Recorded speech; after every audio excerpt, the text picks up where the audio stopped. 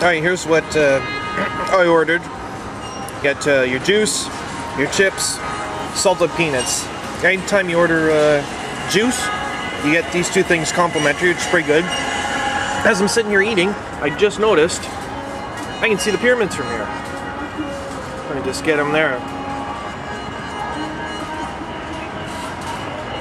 So that's uh, the pyramids.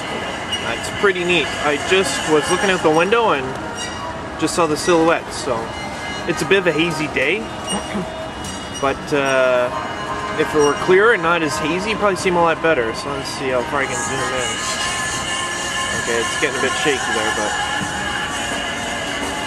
that's interesting. So sorry, I showed you the skyline. That's uh, the Nile down there. And then got the pyramids over there. So uh, yeah, that's pretty neat. And I'm to be going there on uh, Thursday.